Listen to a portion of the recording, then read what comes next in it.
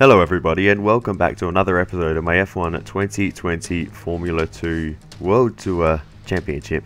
Uh, today we are at the Singapore Marina Bay Circuit and uh, this is around uh, 5 of the championship so by the end of this one uh, we will be at the halfway point of the season as we start our qualifying lap though. Alesi comes out of pits right in front of us and that's going to cost us a lot of time as we uh, get a little bit balked by him and uh, that has yeah, had a, a, a, uh, negative effect on the start of our qualifying lap, and worse still, we're on the super soft uh, compounder tyres, and they really don't last uh, around any circuit, let alone one with so many corners. I don't know why uh, we're using this tyre compound this weekend.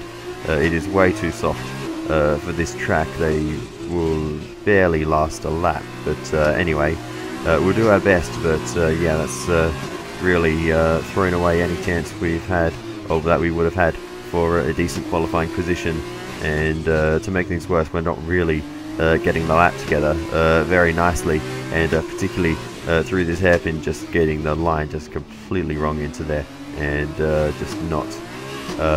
it's just not coming together for us, so we're going to be starting down the back. I can already kind of feel it at this point, but we'll finish off the lap as best we can. Another mistake there into the right-hander, and uh, you can just see that we are just not on the pace at all here. So uh, maybe a few more practice laps were in order, but uh, even in practice I was feeling alright. But as soon as we put these super soft tyres on, uh, it was uh, it completely just changed what the car feels like. It's just it feels like a different car because the tyres are so soft, they're so grippy, but by the end of the lap they've already got uh, nothing left really. You can see understeer there now, so uh, yeah, this uh, really is uh, a very strange one. I think uh, definitely the wrong tyre compound to be on, but uh, you need the pace from these tyres, so you know, with everyone else running on these tyres, um, yeah, you need them, but unfortunately just the wrong compound for this weekend, I think. But as we have a bit of a moment, Alesi gets a bit of karma there, and uh, has to check up behind us. But uh, yeah, that was us pushing on for another lap. It didn't work out for us, and uh, that is the end of qualifying. Wind down from the excitement of qualifying. Here's a look at your top three: Schumacher, Matsushita, and Anthoine Hubert. The grid is set then, so that just leaves the race itself. Join us tomorrow, where we'll be live with all the action. And until then, goodbye. So there we have it. We are well down the order in, well, dead last. There's no other way to say it. Uh, so a lot of work to do uh, in the races, but we'll see uh, what we can come away with. So uh, let's just get into it and uh, get a move on, get get a good start, overtake some cars, and uh, have some fun. Hello and welcome, where it's all eyes on the grid and the final preparations ahead of today's championship race.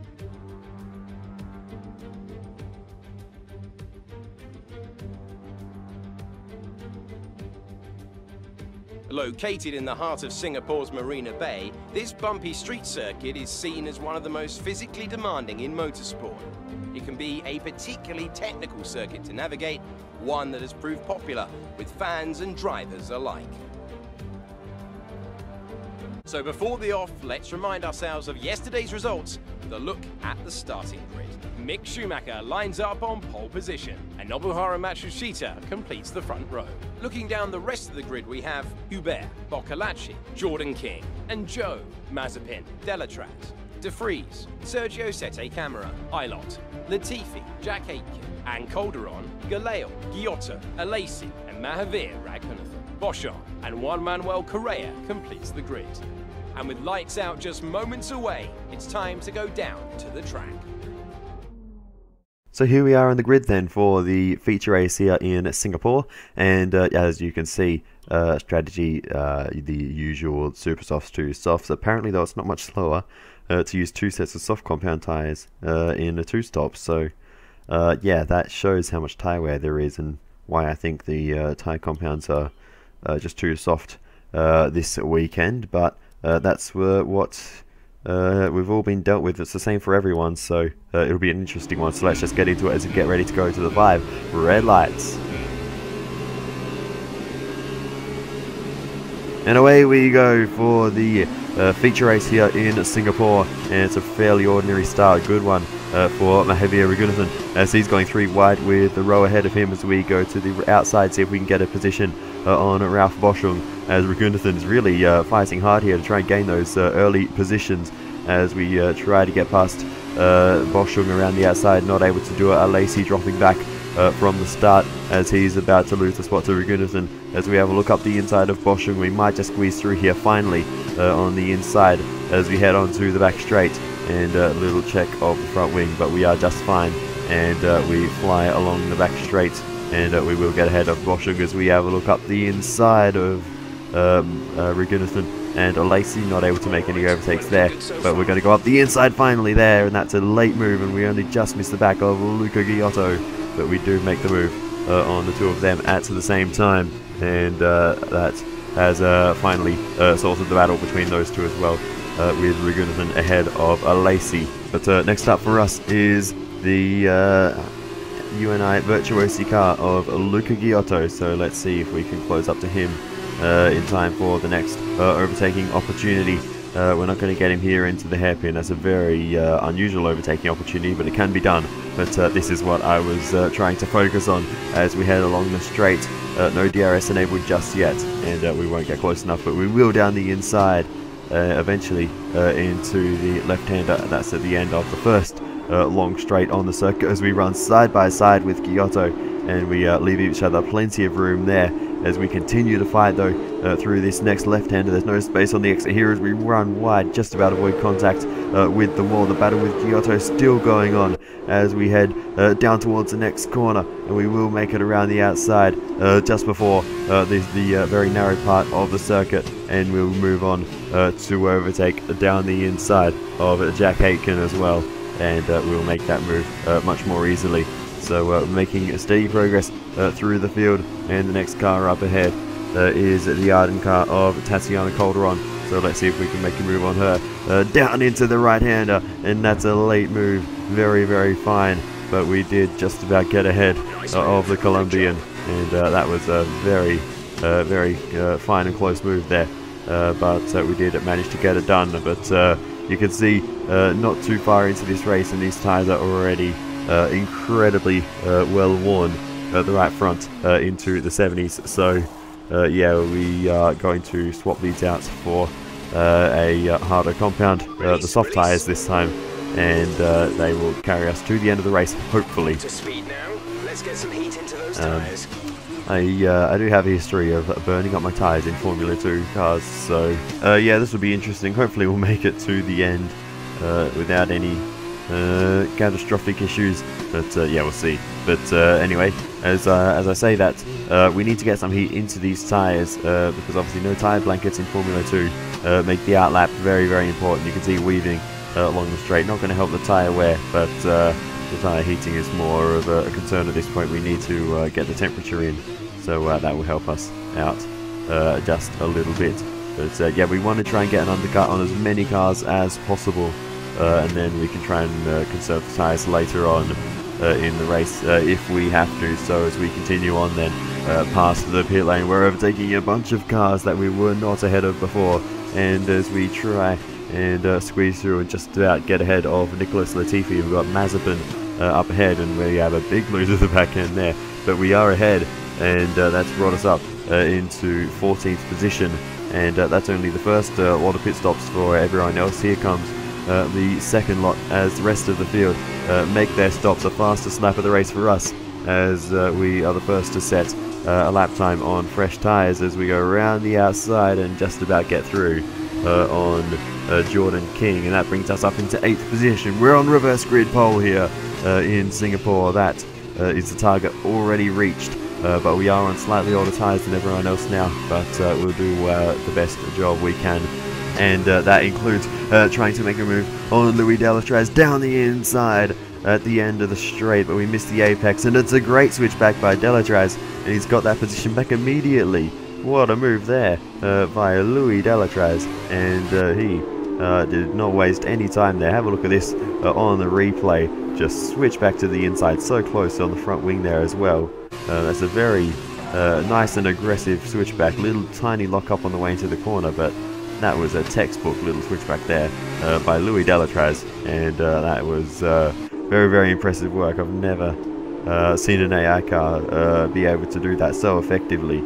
and uh, yeah, that was really uh, great stuff there. And uh, he has held on to the position uh, for now. But uh, as we continue on, we're going to try and make the move again down the inside. Not going to get close enough this time though uh, to Louis Delétraz, and he's going to hold on. But uh, through these next few corners, uh, this is our strongest part of the circuit through here, so uh, we may be able to make an overtake somewhere in this section if we can get close enough and see right on his gearbox, getting a good exit here as we get to the inside line as we head uh, towards this uh, next awkward left-hander. Delétraz just gives us some room on the inside as we get the move done uh, ahead of the Swiss driver, leaving him some space there on the right.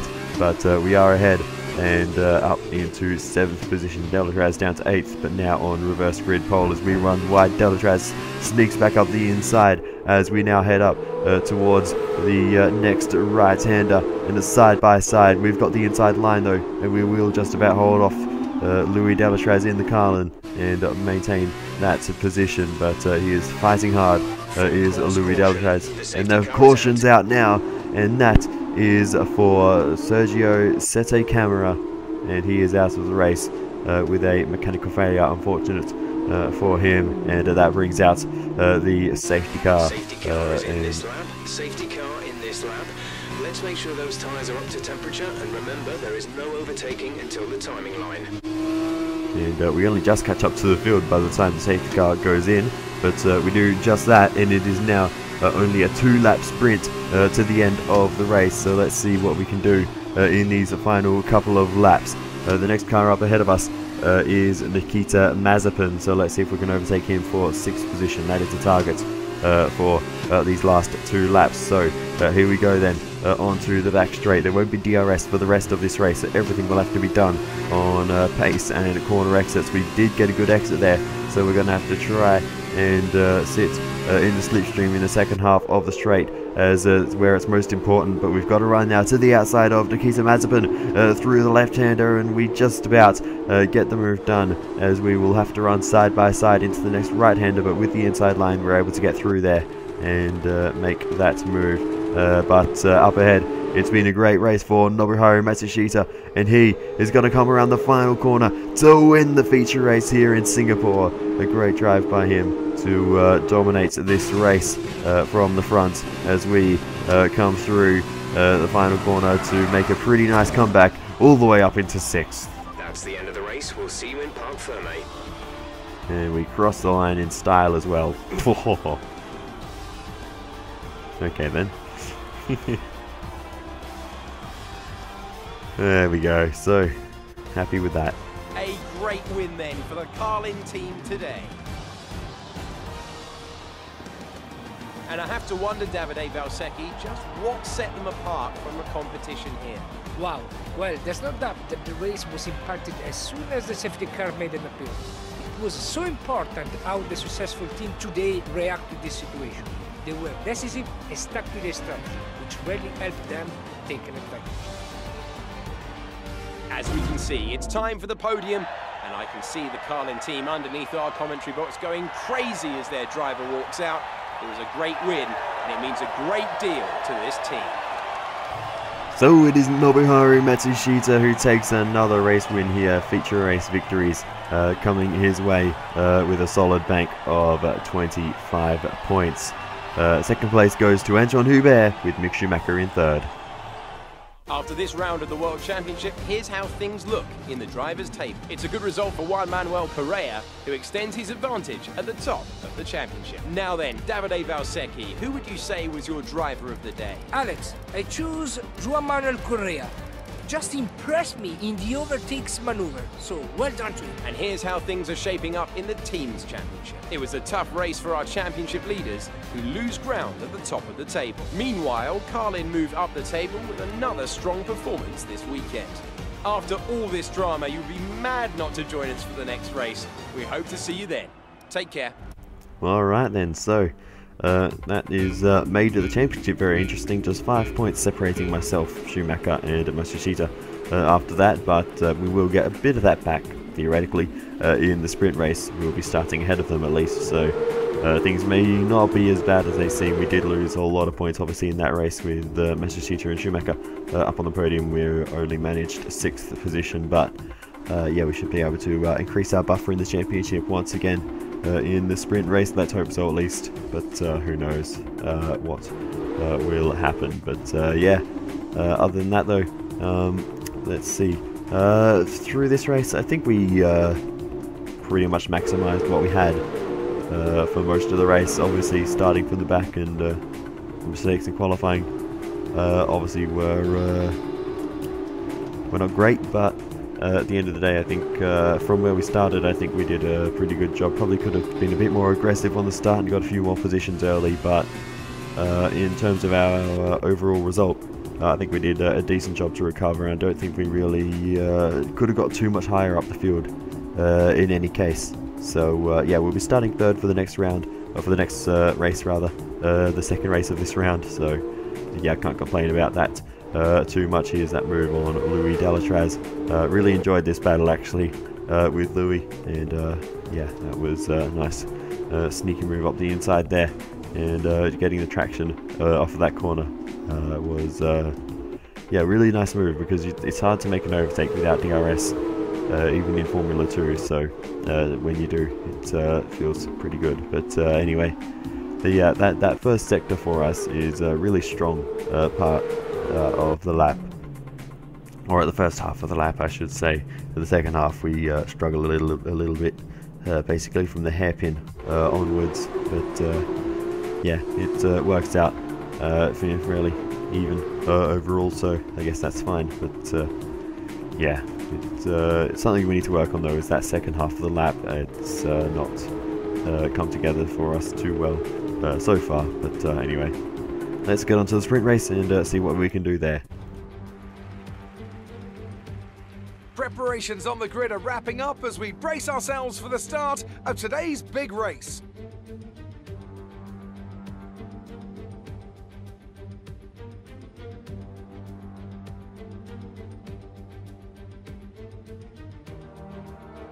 Alongside me today, I'm delighted to welcome back to the commentary box the 2012 GP2 champion, Davide Valsecchi. There looks to be a challenging race ahead of the drivers today, Davide. With that in mind, what are you looking out for today? Well, Alex, I want to see how the drivers at the back of the grid are going to run down. They'll need to make an impact in the early stages, and they're probably hoping for a bit of luck at the start. We may see some bold maneuvers out there today. So with no strategy to discuss, we go straight uh, to the five red lights. And away we go for the sprint race here in Singapore. It's a great start for us uh, versus Louis Delétraz Mazepin to the inside. It's going to be three wide into the first corner as we try to go through the middle and we'll just about squeeze through there and make the positions and get up into the lead uh, through the first uh, three corners there as Louis Delétraz takes second position from Nikita Mazepin. So I thought Mazepin would get through there as we squeezed Delétraz wide, but uh, he somehow managed to uh, maintain that position ahead of Mazepin. Uh, I didn't grab a replay of that, but uh, yeah, that is a great uh, bit of driving there from Delétraz from where he was to hold on to second position with the line we were taking. But anyways, we continue on. That is the perfect start for us from third up to first, and now we just need to hold on to this Uh, for the rest uh, of the race. So uh, we'll just try and push away and break DRS and see what we can do from there. But perfect start for us. So let's see what happens as we move on. And uh, as you can see, uh, as we uh, continue to race through on lap 9 now, and Nikita Mazepin has overtaken Louis Delétraz, so the gap was always increasing, but who knows, with Mazepin behind us now, maybe that gap uh, will start to decrease. But uh, that doesn't change the objective for us. We just need to uh, run the fastest race that we can and try to minimize mistakes and hold on to our lead uh, for uh, as long as we can. But the safety car is out as there is a mechanical failure for Nicholas Latifi. The other DAMS car, it was Câmara in the first race that brought out safety car, and Latifi in this one. And uh, he will not finish the sprint race here uh, in Singapore. So uh, unfortunate for him. That brings out the safety car, and uh, you can see the gap behind us uh, just shrinking and shrinking as we are limited to the safety car speed. And uh, here comes Mazepin flying along and uh, closing up all of that margin uh, that we had. So, yeah, really frustrating times for us. But not long later, the safety car pulls away from the field, lights out, and away we go for the safety car. And it is time for us to uh, ready up for the restart. So here we go, out of the final corner. We're going to wait for our best moment and punch it there as Mazepin is not quite expecting it, and we will uh, get uh, a small gap to the Russian and uh, hold on uh, to the lead as we run deep though and that's going to be costly for us but we will just about uh, hold on but uh, we need to be careful uh, not to let Mazepin or anyone else uh, get past us uh, because our tyres are not in good condition anymore compared to everyone else we get a world of understeer through there and now Mazepin has got a run but he's just not quite close enough and I think we'll be able to hold him off but yeah we can't make too many mistakes uh, like that. So uh, yeah, our tyres will come back up to temperature and we'll get a bit more grip than what we've got at the moment. But uh, yeah, we are not in a good position because uh, our tyres are definitely in worse condition uh, than everyone else at the moment. So uh, yeah, we just need to do the best we can with what we have. But the outlook on this race has just got a whole lot duller. But anyway, we run wide out of the final corner, and that's going to allow Mazepin to uh, make the move to the inside and go side by side. Uh, down towards turn one where later on the brakes uh, pinching towards the apex a little bit when we just about keep it on the road and maintain the position as uh, Giuliano Alesi retires from uh, the race. Oh no what a shame uh, for him. And he will not finish the sprint race here. But uh, as we continue on then uh, through the final a few corners and a huge slide on the exit there and very lucky uh, not to end up in the wall but that's allowed Mazepin through. We're going to try and hold the position around the outside. We've both run off circuit. Mazepin tries to rejoin contact with Louis Delétraz and that sent him off uh, once again. Damage to his front wing. Delétraz takes the lead and that is a big old mistake there for uh, Nikita Mazepin. Uh, once you're off track, it's your responsibility to rejoin safely, and Mazepin was not able uh, to do that. And uh, as you can see there, the result uh, was not good.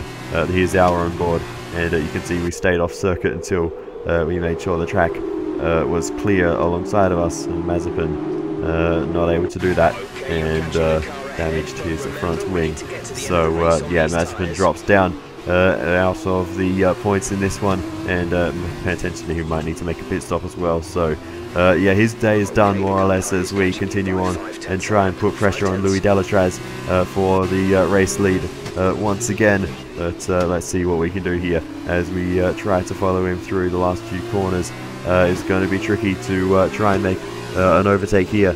But we if we can stay close enough we, we're, we're aiming for uh, potentially the first corner uh, or uh, at the end of long straight where the DRS zones are but you can see just struggling to stay close uh, through uh, that narrow twisty section in the final sector and uh, that's allowed Delétraz off the hook here we're not close enough as we head down towards the first corner so we're going to have to try and focus on this uh, next opportunity here, but again, we're just not close enough, and Delétraz is just about doing enough, but uh, here is where we made the move on him uh, in the first race, so if we can get a good exit uh, out of this next left-hander, but uh, it didn't happen. So as we continue on, uh, we go to the final lap, and uh, a bit of a slide that's going to compromise us once again. Delétraz is just building a margin as our tyres just have nothing left to give. We're trying to push, and the tyres just are not taking it, and uh, that is uh, another slide of the rear end as we're now actually under pressure from behind. So uh, we're not looking ahead and looking back instead as we head on to the final lap. Schumacher uh, putting the pressure on. He may be on uh, for a very good weekend. He got a third position in the first race, so he might be on uh, for another podium here as we continue on and uh, move on to uh, the hairpin. We're close to Delétraz here, so maybe we'll be able to make a move onto the uh, final sector. So let's see, we're close. We go for a look up the inside, but we just can't quite get there. Delétraz leaves us the room, and we may be able to get the drive on the exit, but not quite. And Delétraz holds on, but uh, that has uh, not worked out well for us. Uh, because now, uh, with that little battle, Schumacher is going to be right on the back of us as we're really struggling now. And uh, we have actually made a bit of contact there with Schumacher. He ran into the back of us as we head into the final couple of corners. Schumacher's had a problem. Uh, if you look in the top left, he's dropped down, and there is the problem. A huge loss of the back end smashes into the wall and caused all kinds of chaos uh, here. And Schumacher, I think, is out of the race. And uh, if not, he is certainly out of the points. Here is the uh, contact and a crash, and the wheel is off uh, for Mick Schumacher. And uh, that is a disastrous end to his weekend looking for a podium and uh, found the wall. So uh, that is not what he wanted. He's on board with uh, Dorian Boccolacci. He managed to get through it and uh, the chaos mostly unfolded behind him. Guan Yu Zhou now on board with him and oh, he had nowhere to go there with Schumacher spinning. That was no good for Guan Yu Zhou and uh, the onboard with Anton Hubert, and uh, he managed to get through it uh, just fine. But uh, yeah, a whole bunch of cars uh, involved in this one. Nobuharu Matsushita uh, here, and will he get no? He, yeah, he just about gets through it. Maybe a bit of contact, but nothing serious there for him. Callum Ilott gets a piece of the action as well. So yeah, a lot of cars affected by this one, and Jordan King uh, as well, uh, one of them. And oh, that was a big hit up the back end of Jordan King. Ralph Boschung uh, getting involved, just about uh, getting through. And uh, Calderon, I believe, was the car that ran into the back of Jordan King. And bang, there's the hit. And uh, that is a, big gold crash in the closing stages. But around the final corner we come as Louis Delétraz wins. Yes, that's a podium. Excellent drive. The team have worked especially hard this weekend, and this is a fantastic reward. And uh, that is a a P2 for us. The driver of the day goes to Ralph Boschung. So another fantastic victory for Carlin today. And Davide Valsecchi, give me your thoughts. How did they accomplish this result? It was all about being in the right place at the right time. If the safety car hadn't come out and bunched everybody up, I think we could have been looking at a very different result today. And there you have it, today's winners. Having raised some of the biggest names in F1 to date, Carlin have once again shown their expertise when it comes to recruiting new talent. No doubt today's winners have a bright future ahead of them. They certainly deserve it after today's performance. So it's another win for the Carlin team here with Louis Delétraz on top. We will finish up in second position here today, and it's Dorian Boccolacci in third. So then, it's time to see how this result affects the Drivers' Challenge. It's a good result for Juan Manuel Correa, who extends his advantage at the top of the championship. And so, driver of the day then, Davide Valsecchi, who do you think you'd go for? Difficult call, but I'd like to say Ralph Boschung. He's just so gifted at getting the most out of the tires, and he showed that today. On to the teams then. The lead at the top comes down after a strong weekend from the challenging pack. After all this drama, you'd be mad not to join us for the next race. We hope to see you then. Take care. So, uh, with a few penalties at the end there for uh, a couple of drivers after that uh, final incident, uh, the uh, end result got uh, all jumbled up, but at the end of the day, uh, we end up coming out of this weekend with uh, a healthy margin uh, once again. So uh, at the halfway point of the season now, uh, we are looking in good shape. But uh, yeah, we need to get on top of this track one day. It it will happen eventually, but yeah, bit of a struggle this time around. even in the Formula 2 cars, that last sector just didn't ever really work out well for us, and obviously on the final lap. Uh, had that uh, bit of a collision there, but uh, yeah, this is a bit of a well and truly a race of uh, two halves for us. The first half of the race we were pulling away, we were looking good, and uh, we were very very quick. And then the second half, uh, everyone started catching up. The safety car came out, that bunched up the field, and yeah, we just struggled for pace after that. And you can see there Mazepin's attempts at getting past and uh, well, not quite uh, managing it on uh, that first attempt, but uh, uh, that came uh, very soon as there's the big swapper. that was very, very lucky for us then not to end up in the wall, and all of us going off the road there.